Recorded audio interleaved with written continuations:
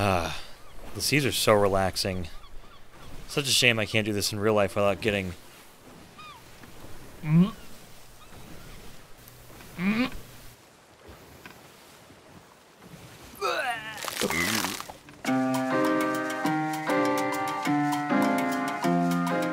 So Sea of Thieves recently had an update to their game. They added what's called Safer Seas. Now what Safer Seas is, it's an ability for players and their crews to play on their own server without the risk of having any PvP or encountering other players. Now, if you know anything about the Sea of Thieves community, you know they feel some type of way about this update. Like, take a look at all this.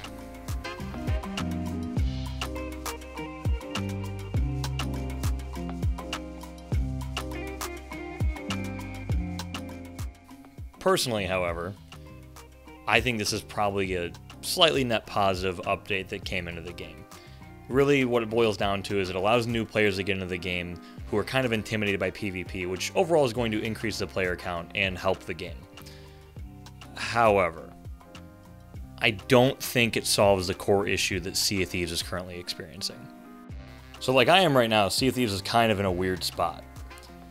The community is divided up into two factions at the moment, which is the PvPers and the PvEers, and both feel really strongly that the other's responsible for the problems that the game's experiencing, and the reason why we're seeing these updates like Hourglass and now Safer Seas.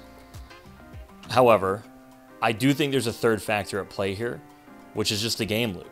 There's two major blaring issues with the game loop right now that personally I think if addressed, it would probably bring the community a little bit more together.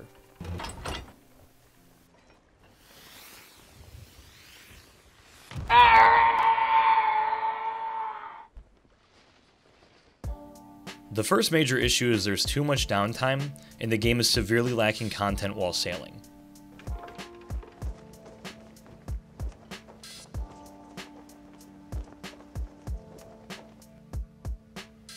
Sure, you have Megs, skeleton ships, and Krakens, and storms, and ship management, but over time, these become pretty avoidable and overall easy to manage once you understand the basic mechanics of the game. And because of this, since there's so much lacking and really nothing to do, the moment you see other players, your first instinct is to interact with them because you've been doing nothing for 30 minutes.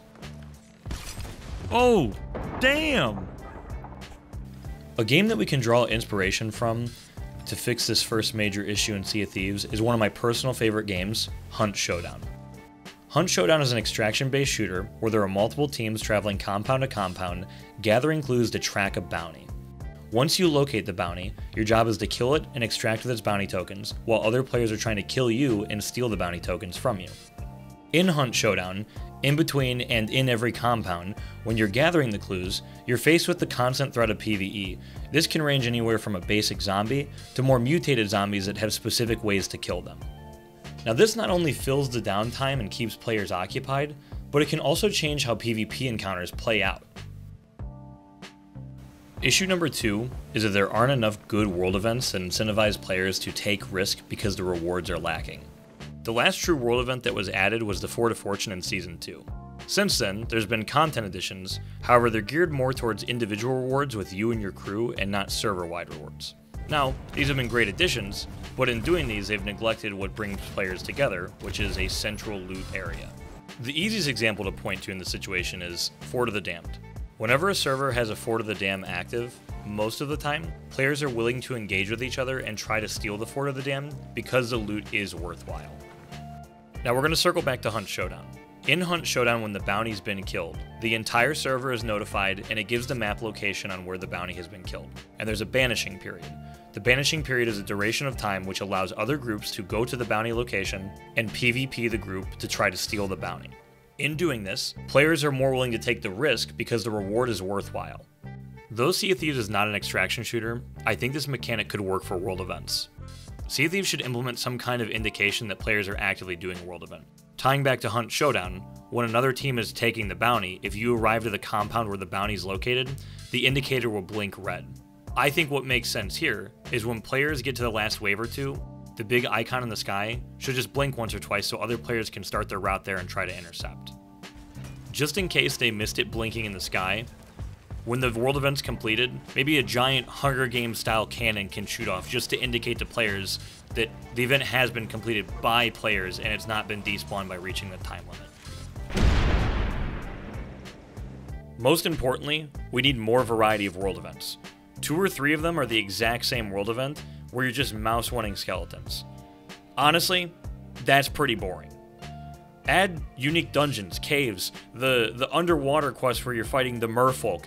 That's exciting. You go into different sections of it after you complete certain waves. More variety is ultimately a good thing. Personally, I enjoy the Battle for the Sea of Thieves, I enjoy the ghost ships. Another one of those wouldn't hurt if you can find a way to make it unique. But at the end of the day, there needs to be better variety in the world events to incentivize people who typically would not do a world event to do them because it makes the PvE more enjoyable for those who typically don't enjoy PvE. All in all, I think these additions could bring a lot of value to the game, while most importantly, bridging the gap between the PvEers and the PvPers. If you agree with this, let me know what you think. If you disagree with it, I'd also love to hear your feedback.